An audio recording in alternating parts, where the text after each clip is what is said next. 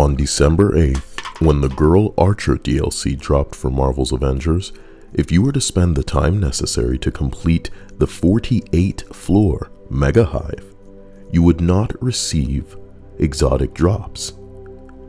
A tweet accompanying the announcement of this DLC character made such apparent.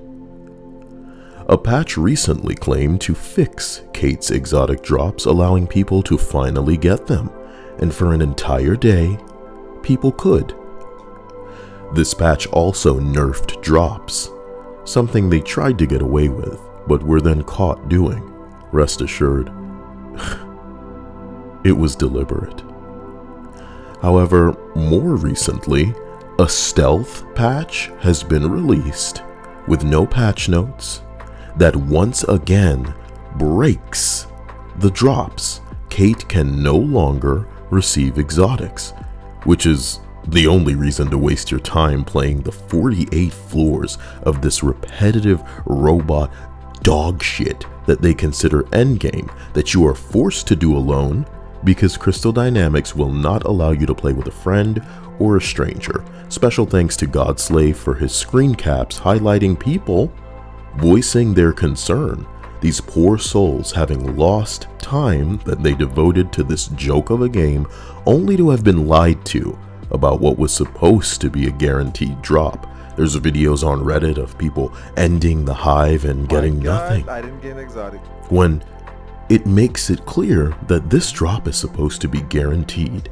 You know what gets on my nerves? It's not the fact that other YouTubers like Simper Rebel and Lejeune refuse to be honest about this game's blatant bullshit. Again, they're probably too busy coughing up pubic hair to respect their audience enough to tell them the truth. What really pisses me off is Crystal Dynamics. When Kate launched, they warned people that you won't get the exotics for the hour plus time that you're going to be investing into this mega hive garbage 48 floors of fighting robots. But now I'm told that the developers are well aware that the patch removed the drops, but they have not tweeted to make people aware so they don't waste their time the way that they tweeted the first time so that they can at the very least absolve themselves of a little bit of responsibility. To be honest, I'm overjoyed to see how incompetently handled this game is and elated that it gets to hobble along disgracing the Marvel license. But isn't this a bit much? Months of delays, months of fixes instead of content, a buggy ass release of a girl archer that nobody asked for, and these fanboys are convincing themselves that it's not that bad. It's not going to be that bad for another month when another archer comes out, homie, and then you wait maybe another month for a real character to drop. Now the patches are literally, not figuratively, going backwards. You know why Marvel's Avengers avoided cyberpunk level backlash? Because nobody plays this garbage. Who would win? Earth's mightiest heroes or a couple of jelly beans? The joke, aside from this game and aside from the developers, is that there can't be backlash if most people passed on this game. You tell people, hey, you want Spider Man, you better buy it here. People are like, I will wait and I will see how people handle the game. And when the game came out, boy, ooh wee, here are the facts. Cyberpunk 2077 performs best on PC. CD Projekt Red knew this, and that's why they only sent out PC review copies. But when launch came, the word spread fast. Console had bugs, glitches, awful performance, and hard crashes that were absolutely unacceptable for a $60 AAA title. Does that sound familiar? Marvel's Avengers played exactly as awful at launch, easily worse in my opinion, deleted progress, hard crashes, the game was laughably unplayable. So much so that streamers would just shut the bitch off after they crashed. In fact, the game is currently so dead after three months that streamers will have to be paid to play it. Y'all like 5 Gum? Cause this is an ad, my dude. So, how did Marvel's Avengers get away with it? Like I said before, aside from the obvious answer that nobody gives a shit about these ugly knockoff Avengers, the obvious answer is Spider Man. Cyberpunk PC performance is good, but the console performance is bad. Avengers PC performance was bad at launch, but console performance was okay. Pre launch, however, they made it clear that if you wanted Spider Man, you better go play on the console. You better go play on that PS4. Damn, Sony. So, it stands to reason that the majority of the player base would be on console. Something you fanboys tell me all the goddamn time when I bring up the PC numbers because there's not even 700 people playing this motherfucker at, at any time. Do you know what I'm talking about? So, the equivalent will probably be if CD Projekt Red was like, Keanu Reeves is going to be exclusive to PC, and that way you could steer the majority of your player base to PC. But that's not what happened because CD Projekt Red, in that regard, isn't out of their mind.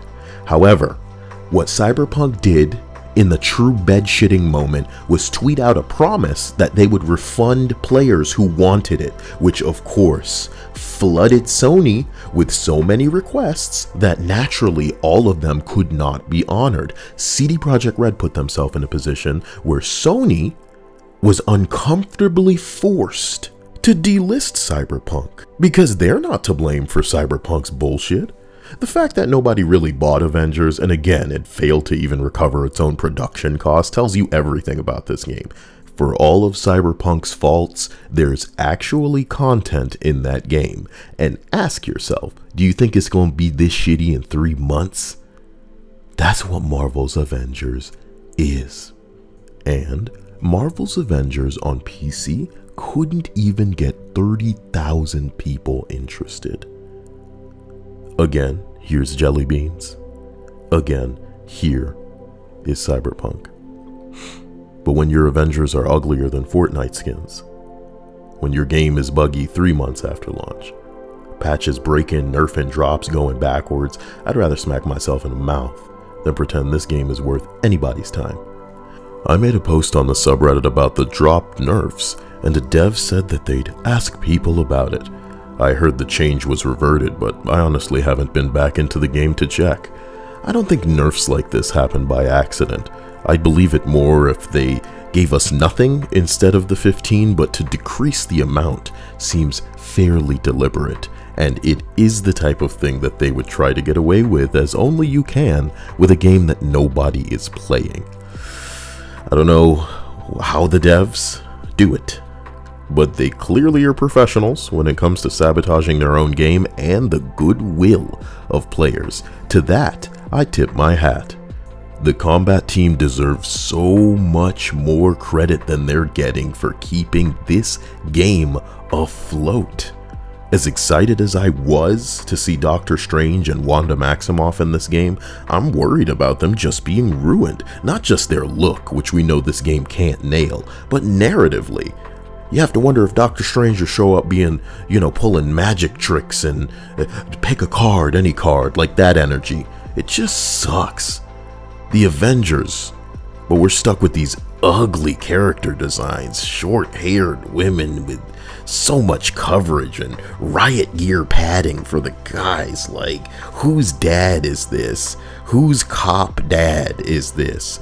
Imagine having 50 years to pull from Again, the problem isn't they don't look like MCU, the problem isn't that they don't look like comic book skins, the problem is if you Google these characters, you would have to go back multiple pages to find a iteration of them that looks even remotely similar to the garbage you've chosen. Thanks, bro. It'll make it easier to distinguish which Avengers sucked so crystal dynamics from the hearts and minds of the players who might have given your game a chance because you happen to have a property that people cared about. Merry Christmas, and thank you once again for this nonsense. Everyone makes mistakes, but when you can't even be transparent about your mistakes, fuck you.